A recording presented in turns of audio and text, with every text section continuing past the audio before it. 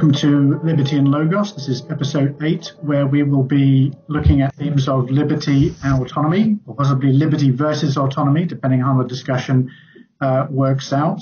Uh, I'm Amory Devereaux, your your co-host here with uh, Bellamy Fitzpatrick. And uh, Bellamy, you've got some uh, things you want to bring up to start us off by talking about the Capitol Hill Autonomous Zone. Yeah, so I've been threatening to do something on Chaz or Chop, as you prefer, for a little while now, and I'm thinking I'm still going to do a separate episode where we look at this in a bit more depth.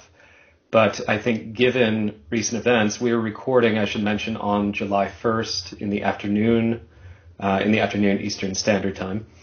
And as of uh, in the wee hours of this morning, Chaz was moved in upon by the Seattle Police Department and is being cleared out.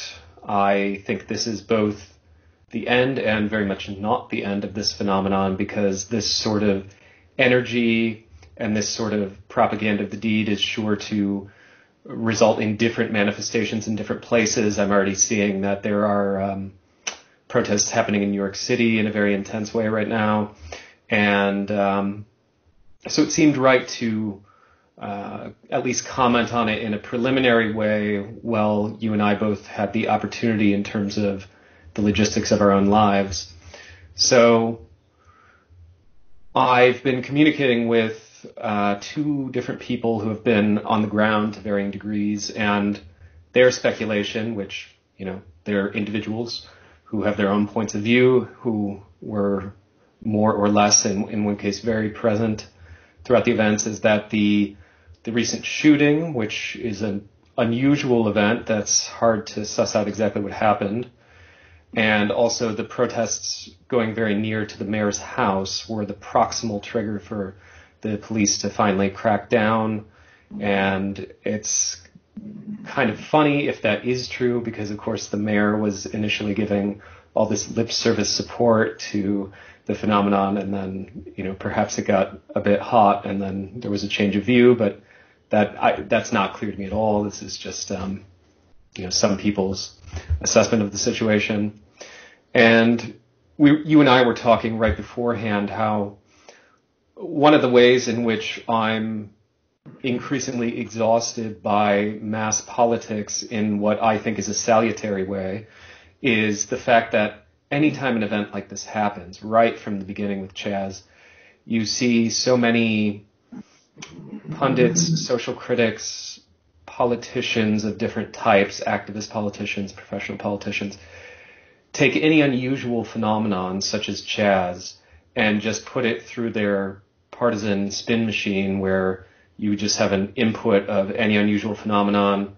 this quick and dirty, often bad faith, often uh, un- under theorized analysis, and then the output is therefore this proves my polit- you know particular political position, and at the same time you have everyone siloing. Most people um, don't consume a wide range of media and are siloed, and it it's just unfortunate how powerful the spectacle or simulation, whatever you want to call it, becomes because you're so cut off from a phenomenon that's interesting, unusual. You're trying to see what's happening.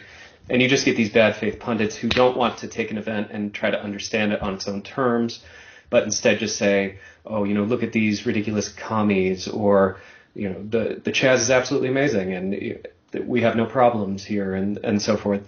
And you know, the, I think many people at Chaz were willing to admit that there were a whole range of problems, and maybe we'll get into some of those today. But that was just my kind of first take on it, and I'd be curious to hear yours. Yeah, well, I guess uh, you know uh, the it's up to the viewer's discretion and uh, to decide whether or not my analysis it fits the pattern of this uh, machine that you described, um, or if there's something in it. But my first thought really was, to what degree is this autonomous? Now, obviously, in terms of the name, they eventually settled with, oh, actually, it's just an occupied protest. It's just mm-hmm. a, it's more like an event than a zone. Right. But my, if my understanding is correct, uh, that it was both ended by the police in the early hours this morning, but it was also begun pretty much by their withdrawal, right? Yeah, I think you could say there was a kind of vacuum of state presence, a vacuum of power that was occupied. And, you know, we're talking about something incredibly small. You could walk across it in a minute. Um, and so I guess some of the things that worry me are what exactly was the to, to what degree was there a goal once this thing was announced? Or was it more or less a sort of seizing the opportunity to have a sort of uh, a kind of spectacle and then the the sort of motivations were sort of almost a second thought and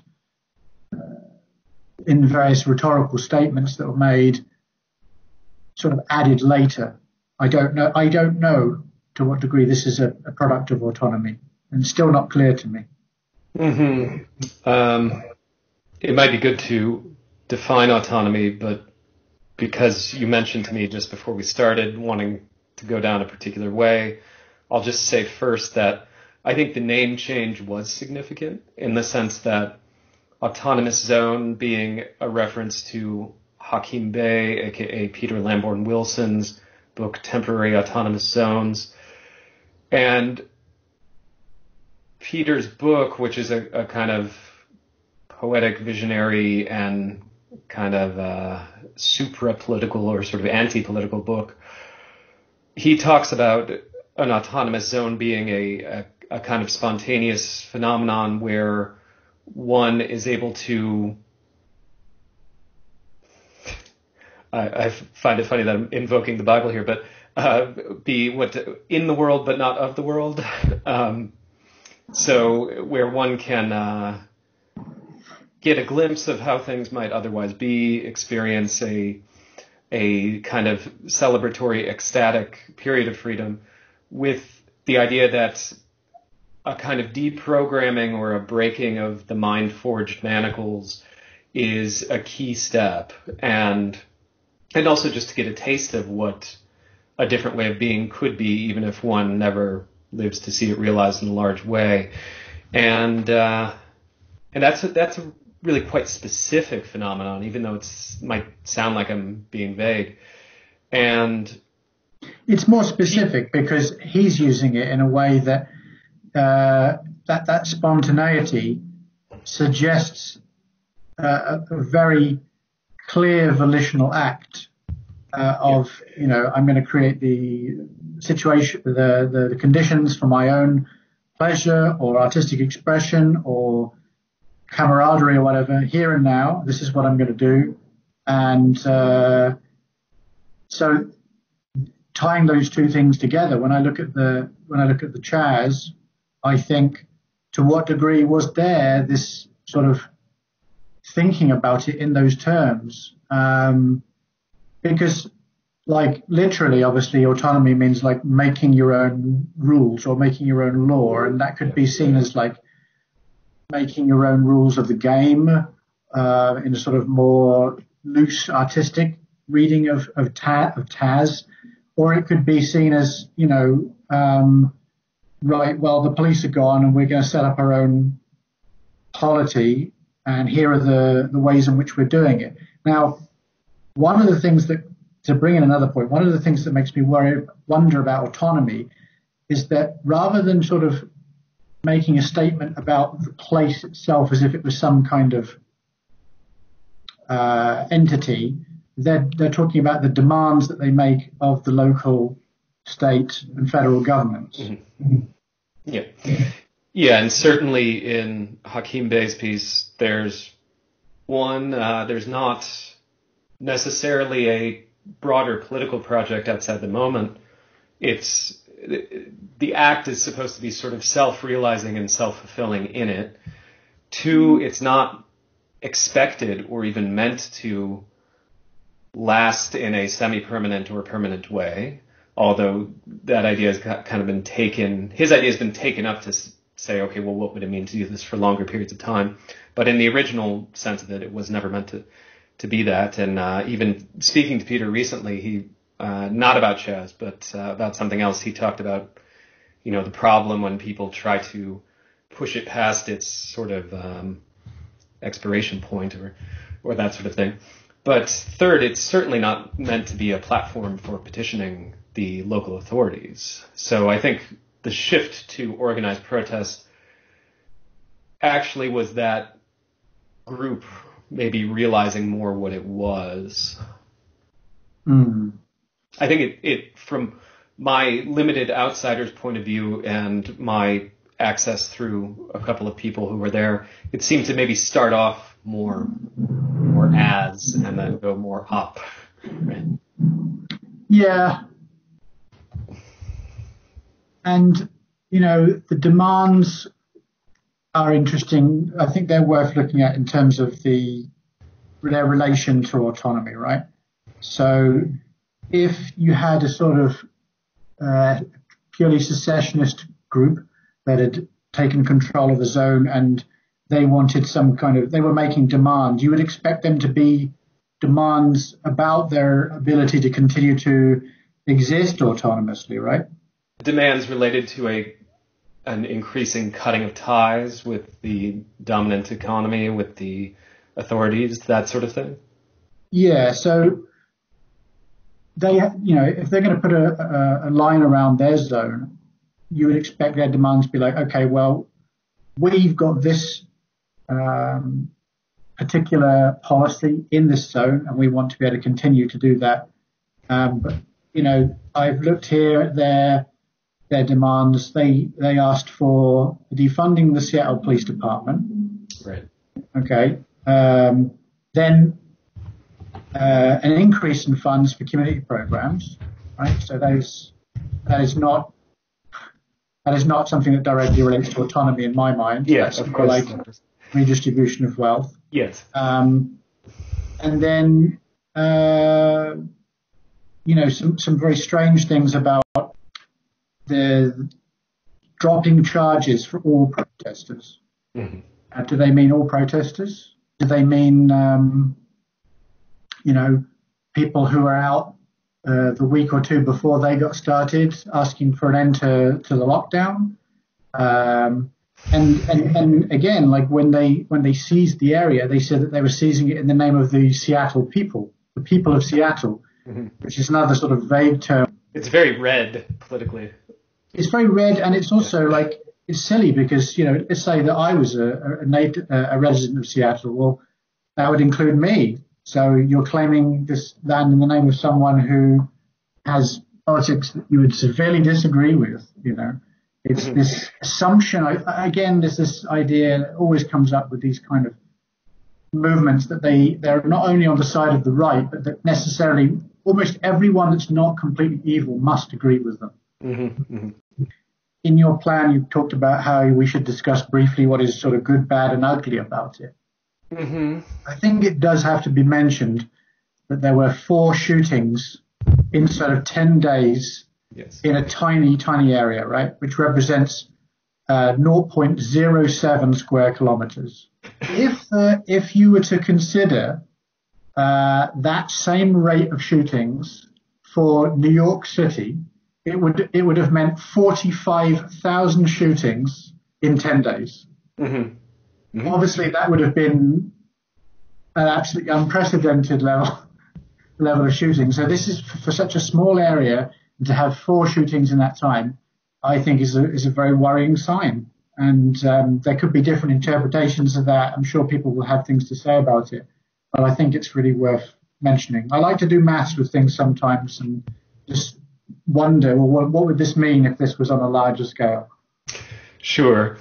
Yeah, I think I want to address the shootings more in the subsequent episode that I talked about, but yeah. you know, point point well taken for sure.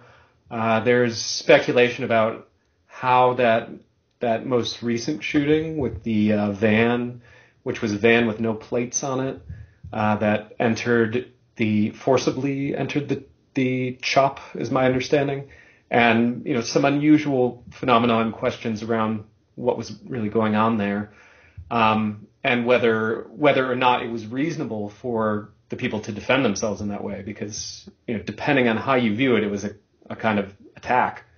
Um, would, again, questions to be answered about what that means and what what happened. Um, I mean, the other thing, you know, we talked about. I guess since we're talking about it for a moment more, the good and the bad. Um, well, I'll start with the bad. The bad being the statements that we made before about autonomy and is this really an autonomous zone? I mean, the, the material facts on the ground and logistics meant it never could be autonomous uh, for more than a, a very short time. They were dependent on the surrounding infrastructure for bathrooms. They were dependent on it for food, for water. Um, I mean, you can't, you know, just because of the, material facts on the ground of the city, you can't just break off. You're, a city is a, a dense concentration of economic activity that is set on uh, usually, well, in, with modern cities, impermeable cover. Uh, you know, there was an attempt to make a garden that I saw some photos that made the design seem odd. Um, and if a group of people can't interact with their ecology and they don't have any kind of shared economic activity understood in the broadest sense of just you know processing um, physical matter into goods and services and, and that sort of thing, then they just can't be autonomous in any meaningful way, except for the very limited, specific, psychic, psychologically focused way that Peter talked about. Mm, yeah. Are you talking about the garden with the pizza boxes? Yeah, it just it looked like um, and again, you know, I never know if these photos are being distributed specifically to make these people look bad, and that was some sort of intermediate stage. But it looked like sheet mulching that was being very poorly done. Yeah. Um, because the cardboard was exposed such that it will dry and then it will actually uh, repel water and and cause a kind of artificial drought um, because the water can't permeate it to get the soil. That kind of sheet mulching works well if you mulch it really heavily and the, the cardboard stays moist. Um, and the, then the, also the arrangement of the plants seemed very odd. But mm. again, I don't know, and I'm not going to be a back backseat gardener for something I didn't actually see in person. It's true, yeah, yeah, and uh, if other people have different readings of the of the yeah. shootings, because I haven't really looked into all of them uh, very much. Um, if there's some, you know, given my propensity for what some people sometimes call conspiracy theory, it would be hypocritical of me to say that I've totally um, made my mind up about those, which I haven't. Sure. So to, to bring in the next theme, I guess this is from Shaheen, and he uh, uh, he says, "quote The main question I have so far is what you are meaning when you say liberty. I see." in the glossary on your website that you have provided a definition, but given that the word is half of the title of your show, I think you should spend more time exposing the concept and expounding the differences and similarities that Amory and, and Bellamy have of it. He, he adds uh, a further part where he talks about the work of uh, a Korean German academic, Han Byung-chul, um, which is uh, basically to say that, according to Han, real freedom is some, somehow socially anchored. He, also, he, then also mentions the work of a man called Ramon Elani, um, and how he decenters the question of human liberty by emphasizing how a connected, meaningful life is achieved by serving gods. Okay, so mm-hmm. what he's what he's doing with this feedback is trying to uh, prompt us to talk about liberty and freedom a little bit more. I took the opportunity of trying to uh, flesh this out a little bit by uh, by private message, and what he's adding here is um, that the way in which um, community, social anchoring, and individual autonomy can can sometimes be at odds is where there is some kind of a, a duty or connection in a kinship structure um, that can cause these types of problems. And finally, he says the concept of permanence, which is what deep rootedness would entail, is not friendly to the notion of individuals guided by nothing other than their whims and wishes. There has to be some kind of overarching duty that binds people. The degree to which this exists will have a great influence on the longevity of the community. Not too much, not too little, but the existence of such an apparatus is at odds with a modern definition of individual autonomy. Yeah, there's a lot in there that I think is is really good. Um, I'd also frame this by pointing out that something I don't think I mentioned to you is that uh, like several weeks ago when our a previous episode went up on the website anarchistnews.org as often happens, uh, one or more uh, anonymous commenters take the opportunity to, you know, vent their spleens at me, and they were saying, making fun of us, both of us, for using the term liberty in the sense that it connotes this sort of rah rah rah Americana sense of freedom, you know, sort of me and my 40 acres. Um, I mean, I'm stretching out a little bit what they said, in the sense that um, you know there's an American idea of freedom that is certainly a uh, partially tied up in settler colonialism and sort of being on the frontier, um, where you are less affected by the proximity of states, but you know that was only possible through a an act of conquest and genocide and that sort of thing. And I, I get that. I mean, it would be naive to act as if that were not the case, but I certainly don't think that either on its own fulfills or exhausts the concept of liberty. And I don't, know, there's so much in Shaheen's comment that I'm not quite sure where to approach it first. And I guess I would maybe invite you since, um, I believe in our conversations, you were actually the one who first brought up that term to, to say what it means to you. And we have a short definition of it on our website, but uh, maybe you can flesh it out a bit and then I'll sort of jump in and have a few things to say about Shaheen's comment. You know, this, this is live podcasting, folks. This unscripted.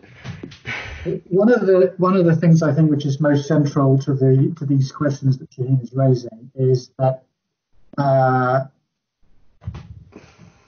what degree is liberty, and I'll, I will give you my conception in a minute, mm-hmm. um, necessary and sufficient and or sufficient for a good life. Okay. Now, oh, sure, sure. I think that I would see liberty as a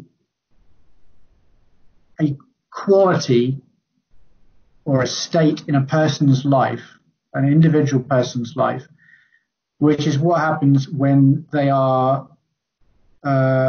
free from the uh, interference of, of others on their lives in a in a heteronomous way. Okay, so when people make agreements in a sort of uh, traditional, very broad libertarian sense, or live together and form communities, um, it's hard to really look at any of that as sort of interfering with with people's lives. Um, I guess if a person consents to something which starts to sort of seem more like a kind of permanent um, norm, um, but it's not been codified in any way, and when they try to sort of step out of that or question it or challenge it, they come up against friction. That would show that there really has been something reified. But I definitely think that liberty alone is not sufficient yes. for life. And I think that so it, it's two things together, and perhaps there is some tension between them, but a sense of belonging and a sense of intimacy with the people that one lives with, both in a sort of uh, psychological sense and also in a in a logistical living arrangement sense, where they are able to give love and assistance to each other, I think that's certainly equally important as as a person's liberty. But I, the reason why I don't tend to like throw off the idea of individual liberty altogether is because if you're going to look at a quality, especially one which is like the absence of negatives, you need an individual reference point. point, and I think it makes no sense to talk about group liberty or society's liberty because it's like whatever's going on in that group, they'll have di- will have different effects on different people. So you need that individual refer- reference uh, person to say his liberty is being infringed at this moment because of this. Okay, I've got six or seven different things in my head now, so uh, we may or may not get to all of them because I'm wary of going too abstract and philosophical. But um, if I recall correctly, Shaheen's comment also included his mentioning something that I had brought up previously, whereby um, I spent a period where I was reading very heavily just about the theme of slavery across civilization, um, across the history of human societies in general. And that I remarked somewhere, I, I can't recall where it was, it may have been on an earlier episode of this show, that one of the things that European explorers and merchants and slave traders and so forth who were coming into contact with West Africa consistently remarked on was the difference in the conception of freedom, whereby for these sort of, you know, Enlightenment period people, it was this idea of freedom from constraint, right? Sort of uh, negative freedom. And this concept didn't translate so well culturally, at least according to the scholar I was reading, who's Orlando Patterson, um, who's a, a, Jamaican scholar of slavery who wrote a very interesting book called Slavery and Social Death. And the point that Patterson was trying to make, because he fleshes out this unusual, nuanced definition of slavery that is not just about being under someone's control and having um, you know your labor extracted from you forcefully because he says actually there are a variety of ways that those things can happen that it had to do with di- being dishonored and being cut off from social ties. And so this west african conception was that to be free meant to have many kinship ties because those kinship ties were were networks of protection and options for you to fall back on and people who would uh, support you in various ventures, whereas a slave was someone who had only one tie, one tie to their master, and they had been alienated from the community and suffered in, in his terms of sort of social death. They were no longer, so they were an outsider in the own community. They were a, someone who was on the liminal space of being human and not human, really. And I'm sensitive to, to that kind of point of view, but I agree with you that there's something that doesn't quite comport with my thinking uh, to talk about community freedom. I mean, I think what this shows is that uh, a human can only be fully fulfilled within some sort of community, and maybe we can talk about community later. But um, I think I, I don't think Shaheen is doing this or uh, or quite taking a position on this, but I th- it reminds me of a conversation that I had with someone who was is very involved with the Inhabit project, which is this kind of international anti-state communist project.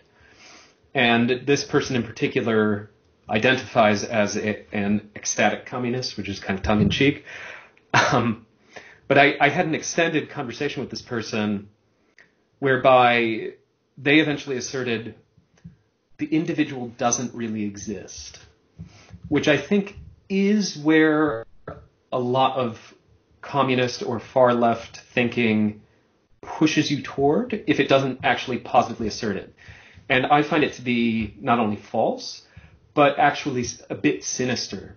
Not that I think that this person who I was speaking to has horrible intentions. I think this person actually is committed to human freedom. But when you start to, to try to say that the individual doesn't quite exist, I think you and and the argument was because the individual is totally dependent on you know all these networks, be they ecological, economic, so, social, psychological. You're you're asserting a falsehood that is lends itself so easily to authoritarianism and also just is demonstrably not true. You, you, if you introspect right now, you are basically a sort of point of consciousness that is opening to the world, that has, is experiencing a particular field of, of sensory qualities and thoughts and emotions, and has a particular perspective, and you can't get rid of that. Like that is the, the starting point of, of any philosophical inquiry. And to try to, you know, say, uh, I'll stop there because I've been going. And yeah, I the, to me that last the last thing you're describing is, uh, you know, the same thing as what I've been holding to for over 10 years, the idea of moral libertarianism. Yes. I was just going to say, it, the other thing is, you, I, after, at least at this point in my life, I'm 32 fucking years old, and I've been thinking about this stuff a lot for 14 years. I'm not convinced that you can really, in any system of thought, get rid of the idea of choice or will of some kind. And I've thought about this a lot. I, I know there are arguments against it. And, you know, I'm not saying I'm the master of the universe, but it, once you get rid of that, then you've gotten rid of ethics as well. If, if there's not some sense of choice. And so if there's no individual, how is their choice? How is their responsibility? How is their morality? I certainly don't think, uh, as you as you were right to point out, that Shaheen is, is suggesting any of these things. Um, I think that the, one of the more interesting points worth just quickly zooming back to is the notion of individuals guided by nothing other than their whims and wishes. Right, right, right. Both of us at various points in the past had some affinity with you know, uh, psychological egoism mm-hmm. and yes. and I always had the sense that some things it makes sense to wish for. And there was always this view that some of these things that you could have, that you could have on a whim or a wish, even if it like was the purest expression of freedom or liberty in one sense, it was flying in the face of so many aspects of the good in another. Um, and I think that's that's actually an important role that the community plays. You know, we talked before uh, about values, and I really think that not that the community determines the values, actually the values will determine the community, but then in turn, the the community is a vessel through which uh, the importance of values is stressed, and that can help people when they, you know, got some kind of desire pop into their head to to determine for themselves using temperance and whatever else. Do I really want this? Because it may well have a an adverse effect for me mm-hmm. in the community. Not that it has a bad effect on the community because again, I don't want to use the community itself as a reference object, but there is that, that again, that comes down to choice. Yeah. To respond to Shaheen's other point, I, I definitely agree that liberty, freedom, autonomy is not sufficient as an end in itself and should not be reduced to acting on whims and this is part of one of several major factors that pushed me away from the really hardcore Stirner egoist view was okay, so when I try to make the appeal to anarchism, I have to continually say that I'm not saying these values of of anarchy and ecological harmony and all this sort of thing are standalone objective truths and values in themselves, but here are some pragmatic reasons that I think you should adopt them. And, you know, I think that doesn't quite cut the mustard for a lot of reasons. And to respond to Shaheen's point, I think a, a fuller idea of freedom is, is the freedom to do the good volitionally, to, to, to do the good in the sense of uh, beauty, justice, truth, etc. And to do it in a, a, a non-compelled way, and that that is part of being a, a, fully realized person, but it's still happening at the individual level, even if that individual is networked in a serious way with a group of people, which hopefully the individual is. Yeah. I guess to finish my answer to your first question about the sort of working definition, I would say liberty is definitely like the the means. Um, you either have liberty or you don't at a given moment, and it's being infringed in a given way or not. And I think that I would tend to think of autonomy more as like more like an end. Mm. Uh, okay. So the we we live in a in a state of heteronomy, a control complex which affects us and our liberty in all kinds of ways. And if the and if the goal is autonomy, then um, liberty has to be part of the means.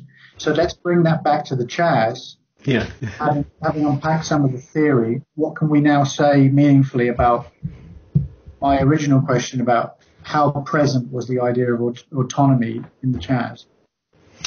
Well, I think if you're defining it in that way as the sort of end where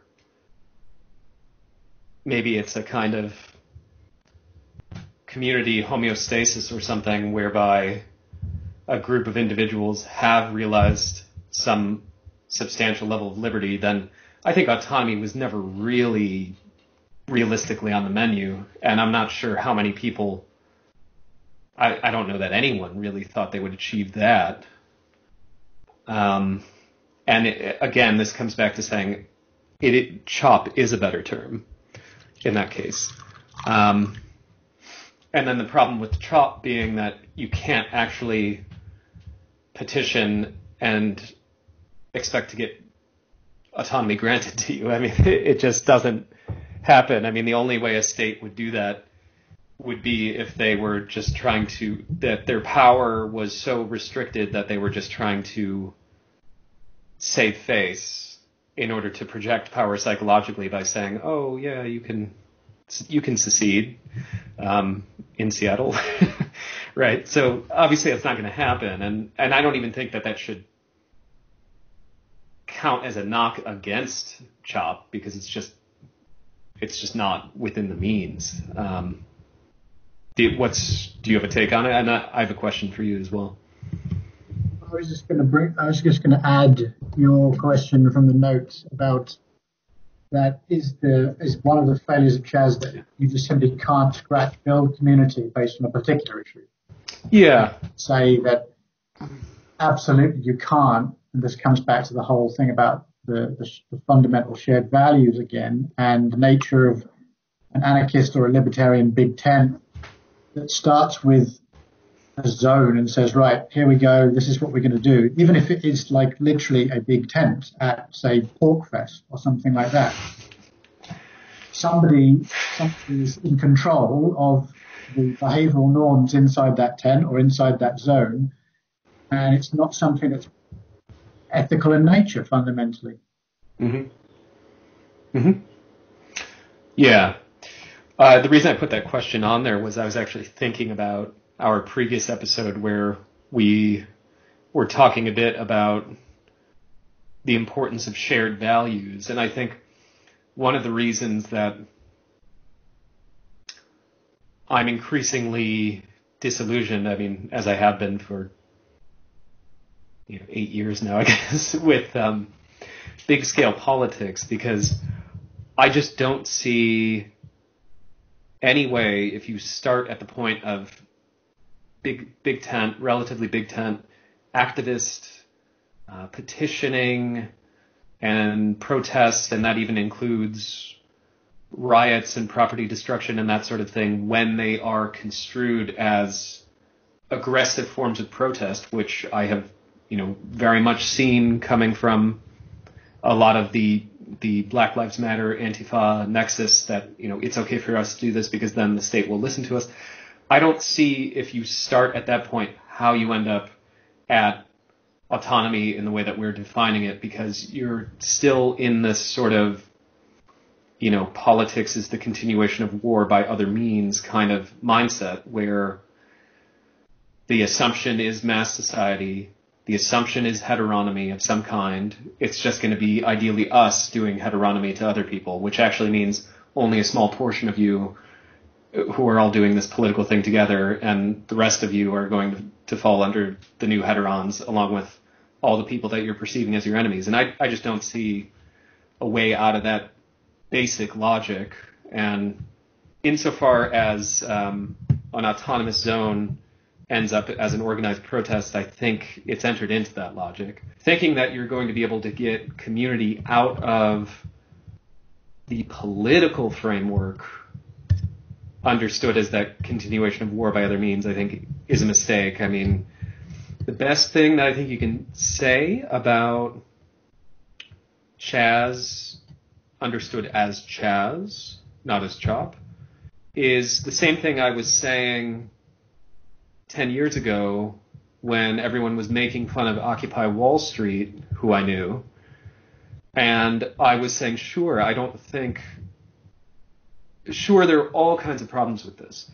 But one thing you can say about it is it's a psychological and social breaking out of the ordinary, breaking out of the routines of the dominant economy, breaking out of the autopilot mind, breaking out of the mass anonymity, and it's people recognizing some sense of agency, recognizing some sense of community, however attenuated, and saying, hey, actually, we can stop what we're doing and we can talk to each other and we can imagine different ways of being. And I don't want to minimize or scoff at the value of that.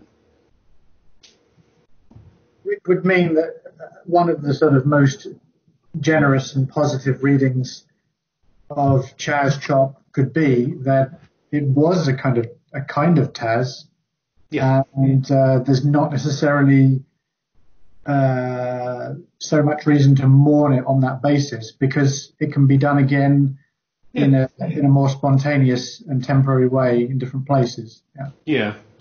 Yeah.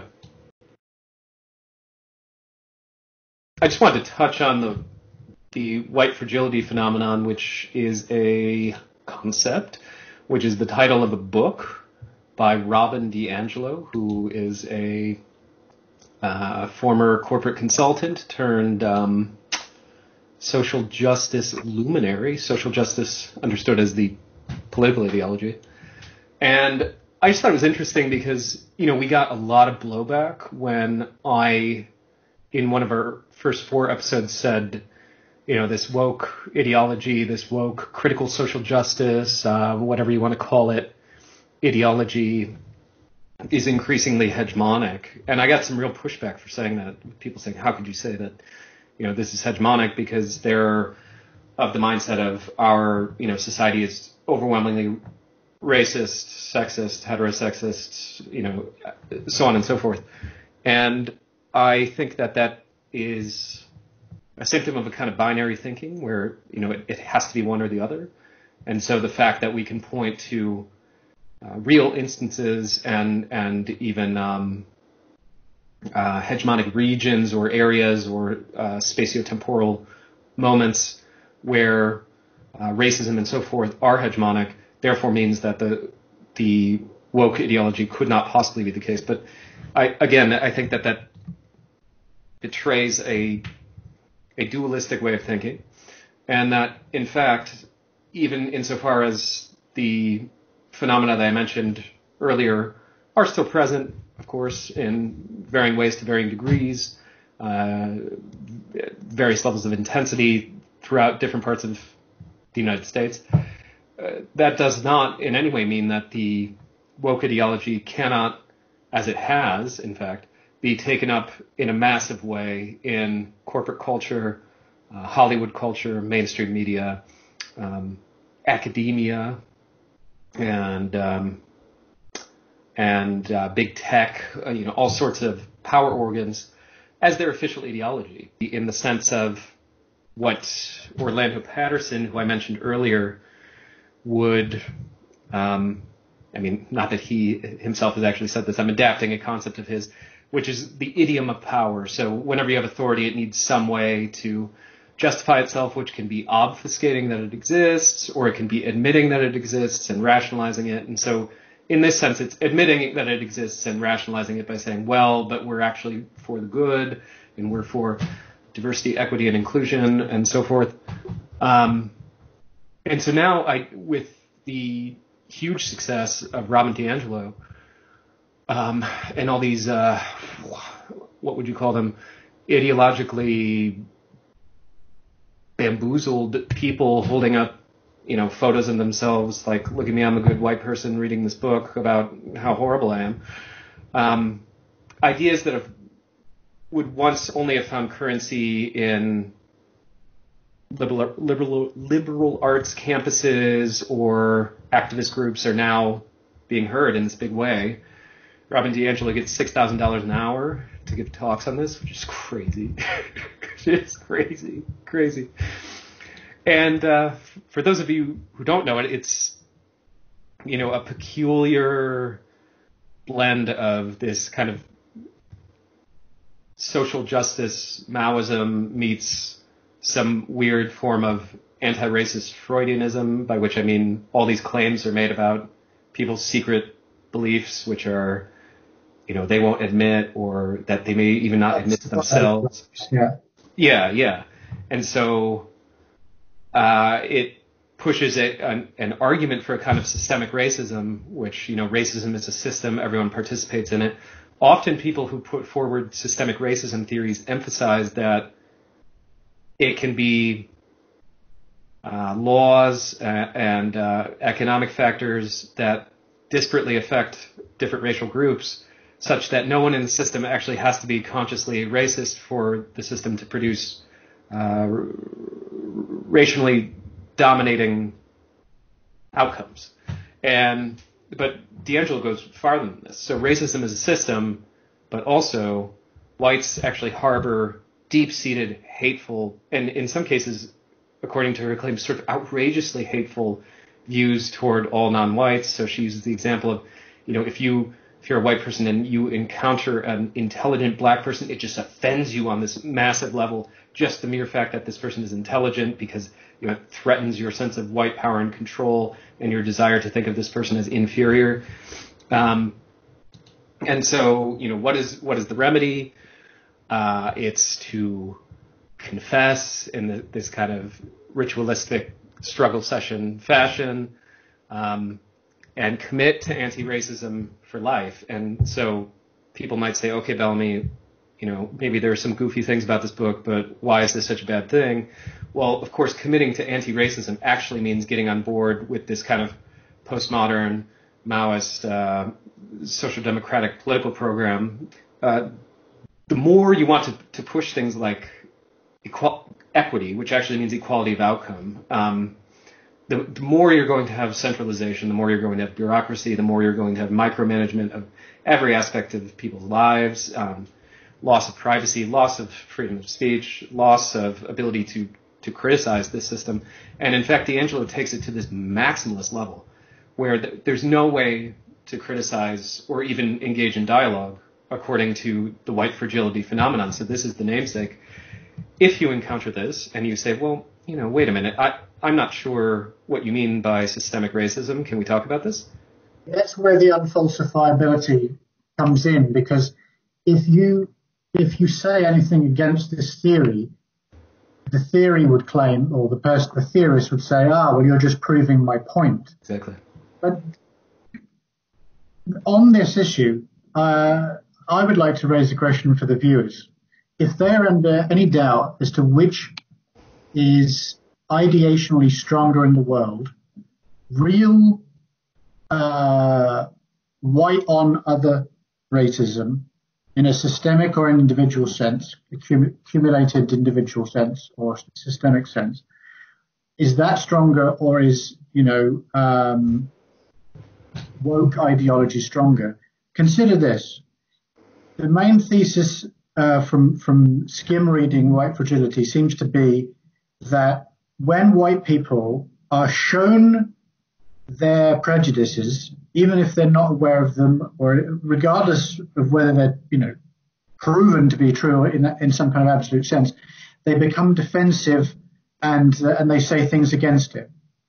Consider the same when you are a critic of the concept of white privilege and you explain that one of the dangers of this kind of framework is that it it means that negative behavior among non-white communities, which is bad for them, goes, you know, insufficiently examined. It becomes, it becomes a problem which is ignored because everything can be blamed on white people. Okay, so it, it doesn't, it doesn't matter if, you know, you've got, um, a particular problem that the black community is experiencing, which if you've got one way of looking at it, yes, there's agency there. They could do things. They could make their lives better.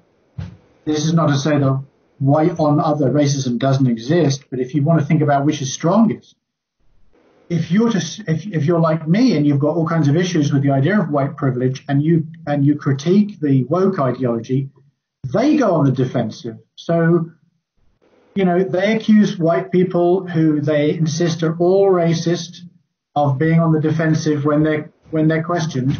But from my point of view, they're doing exactly the same. The difference is if somebody wants to point out something that I've done or said, and uh, you know actually have a conversation with me about how they think that is in some way uh, racist or that I, indicates a privilege that I might hold, I would actually, in good faith, have a serious conversation with about it. But I know that real hardline wokesters if I tr- if I try to say to them, you know, have an intellectual discussion about the concept of white privilege, that it will be no content and all just uh, rage and bile. Yeah, it's worth mentioning that, and I've seen a number of surveys about this now that most most people who actually hardcore embrace the woke ideology are themselves white, and and prevailingly it's a, a middle or higher class educated white person phenomenon.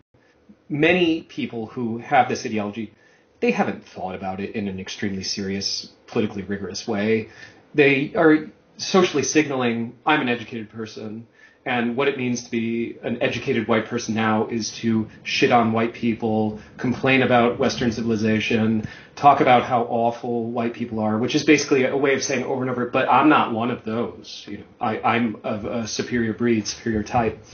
Um, but I just want to finish describing the white fragility concept because you, you sort of gestured at it, but but the central concept of this book is if you if you criticize this, if if you say, well, I'm not sure about this, or well, here's a counter theory, or you know, can can you unpack that for me because I think there are some logical fallacies there.